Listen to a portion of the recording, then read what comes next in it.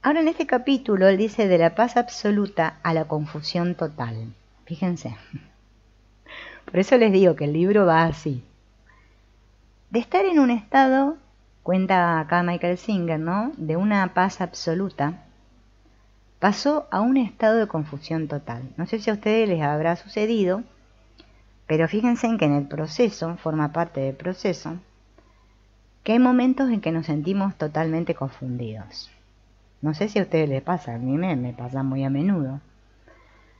Eh, la mayor confusión ronda alrededor de si realmente esto que, me, que estoy experimentando será verdad o es verdad lo que yo experimentaba antes, cuando, cuando no experimentaba esto, ¿no? E, esta, este diálogo que tenemos en la cabeza incesante nos lleva a que nos planteemos estas cosas. Y ahí caemos en la confusión. ¿no? Fíjense en ustedes que si nosotros nos sentimos muy agitados, ¿no?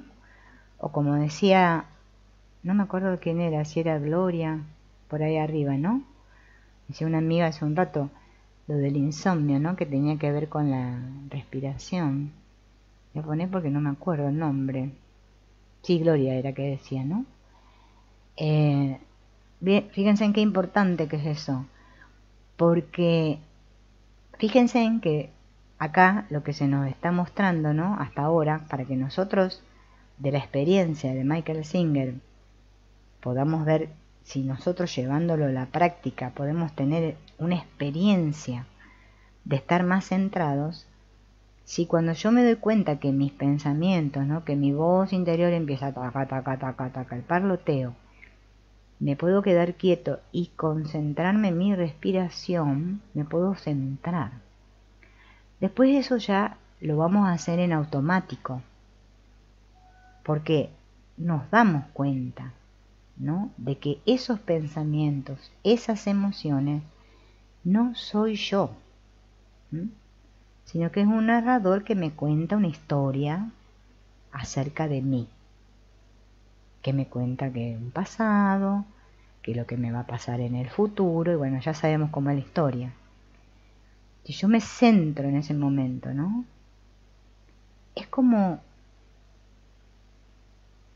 a ver, yo por ejemplo lo experimento, porque al principio se experimenta como una lucha y bueno, no, no, no, no, no podemos hacer otra cosa mientras estamos ahí.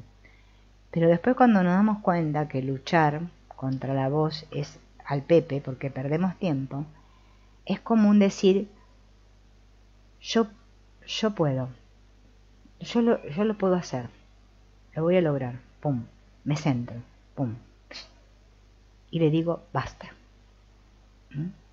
al narrador. ¿no? Se podría ver como una cosa, un ejercicio así, como para tomarlo no como algo para empezar, ¿no? Para el que le cuesta todavía, ¿no? Después hay muchos otros ejercicios que podemos hacer, ¿no? Que ya hemos visto, ¿no? Exacto, sí, sí. Es que la actitud observador es fundamental. Es que es fundamental. Fíjense en que muchos autores hablan de esto, muchos. O sea, por más que cada uno, como decíamos antes, haya tenido su experiencia que sea diversa, es que hay algo que es en común, que compartimos todos, que es o nos damos cuenta que no somos esa voz en la cabeza, o estamos perdidos, porque otra vez nos dejamos que esa energía nos arrastre. Por eso este poder lo tenemos todos. El tema es que hay que hacer uso de la voluntad, es un poder de voluntad. ¿Se acuerdan que él decía eso en los otros capítulos, no? Pero es que si yo no hago uso de ese poder, es que me dejo llevar. Y chao, me dejé llevar, y después me cuesta mucho más regresar. En cambio, cuando la mente está entrenada, fíjense que hasta el curso de milagros lo dice, una mente sin entrenar no puede lograr nada. ¿Lo dice o no lo dice? Bueno, entonces, ¿qué es lo que tengo que entrenar? Mi mente.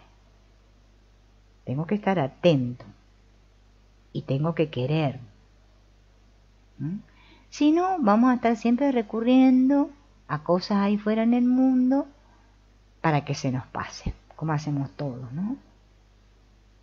Esta pastillita que me tomo, que me, que me hace sentir bien, que me, me tranquiliza. Este vinito que me tomo para estar alegre. Y así. Así hacemos con todo. ¿No? Ahí nos vamos dando cuenta, ¿no? Porque son momentos pequeños de darse cuenta. Ah, otra vez estoy queriendo calmar y evitar el sentirme y estoy recurriendo a lo que me ofrece el mundo, o sea, lo que hago siempre. Entonces yo sigo haciendo lo que hago siempre, pero yo quiero obtener un resultado diferente. Entonces no voy a poder nunca. Porque para obtener un resultado diferente tengo que dejar de hacer lo que hago siempre. ¿No? Esto hablando a nivel acá en la práctica, ¿no? Del mundo. Así nos pasa todo. Es como, es que es hasta, hasta, hasta en, lo, en lo físico nos damos cuenta, ¿no? Mm. Por ejemplo, a mí me pasó, ¿no? Por ejemplo, este año, que descubrí que parece ser que ya desde muchos años tenía intolerancia al gluten, ¿no? Como muchas personas que hoy en día descubren que tienen intolerancia al gluten, ¿no? yo, yo comía me sentía inflada y decía, pero ¿de qué me siento inflada? ¿no? Bueno, uno va descubriendo en las formas, estamos hablando para hablar acá al nivel de las formas, ¿no? Y dice, bueno, si yo como el coso este que tiene gluten, estas, estas harinas que tienen gluten, y me inflamo, bueno, entonces voy a dejar de comer esto porque esto me inflama, ¿no? Bueno, si así lo podemos hacer con el cuerpo y en la forma, también lo podemos hacer en, en el aspecto metafísico tenemos la misma capacidad para darnos cuenta. Lo que pasa es que no la ejercemos. Esperamos a ya no dar más. hasta, esperamos hasta eh, eh, eh, lo último. ¿No? En lugar de ir haciendo pequeños pasitos, que los podemos hacer, pero no queremos, entonces nos dejamos hasta lo último. Por eso es aprendizaje todo. Entonces él empezó a darse cuenta, ¿no? De todo esto y empezó a darse cuenta, dice que eh, al margen de lo que supiera o del tiempo que me llevara, iba a encontrar el camino de vuelta a este estado más allá de la mente. No transcurrió mucho tiempo antes de que comenzaran a producirse modificaciones en mi vida de intensidad similar a los cambios internos que estaba atravesando. Todo empezó con Shilly. ¿Se acuerdan que Shilly era la, la, esposa de él, ¿no? Shilly. Bueno, yo digo Shilly porque no sé cómo se pronuncia, se escribe Shelly. Un buen día dijo que había llegado el momento de seguir caminos separados. Miren, él estaba muy atento que el trabajo interno, que la meditación, que toda esta cosa, y se le aparece la esposa y le dice, bueno, mira, ya esto se, llegó hasta acá, no me quiero separar, le dice la esposa, ¿no? Esto me tomó por sorpresa. Llevábamos casados un año y medio. Mi vida había girado en torno a ella durante los últimos años Traté de retenerla en vano hasta que en un momento dado tuve una revelación. La gran fuerza de mi personalidad y mi intelecto no le habían dejado suficiente espacio para respirar. Fíjense, a partir de este momento, ¿no? Porque eso pasa en todas nuestras relaciones, ¿no? En la que ella le plantea a él que se quiere separar, él toma conciencia, se da cuenta, ¿no? De que él, debido a su manera de ser, ¿no? Tanto en su personalidad, en su intelecto, la había estado asfixiando a ella, ¿no? Si la amaba de verdad, debía dejar que se fuera. Piensen, todo lo que que estamos aquí, ¿no? ¿Sentimos eso? Que si amamos a alguien de verdad, lo dejamos que se vaya. Justamente tenía un amigo que buscaba a alguien para que le cuidara la casa en su ausencia. De modo que le ofrecí mi disponibilidad, aprovechando esto, y me mudé para comenzar el proceso de cuidar de un corazón partido. O sea, ahí, en este capítulo, él se separa de Shirley y se va a vivir al apartamento de un amigo a cuidárselo, ¿no? El repentino cambio en mi vida externa ejerció un profundo efecto en mi trabajo interior. Estaba muy comprometido con la práctica y explorar el estado interno de paz profunda. Se había convertido en mi propósito.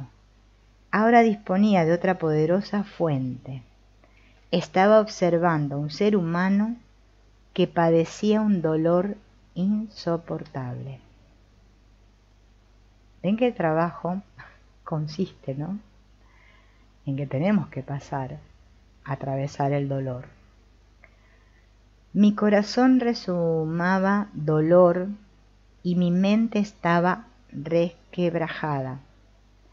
Era como si me hubieran despojado del fundamento sobre el que se asentaba mi identidad y mi yo personal descendiera en caída libre. No sabía cómo recomponerlo y ni siquiera lo deseaba. Esto que le sucede acá al autor, ¿no? Por eso yo decía, ¿no? Eh, hacía esta alusión antes. Porque todo muy bonito, ¿no? Pero por eso digo, no se tomen nada eh, como que porque practicamos una espiritualidad, entonces ya está. Ah, y ahora todo me va a bien. No. Es que la cosa no va por ahí.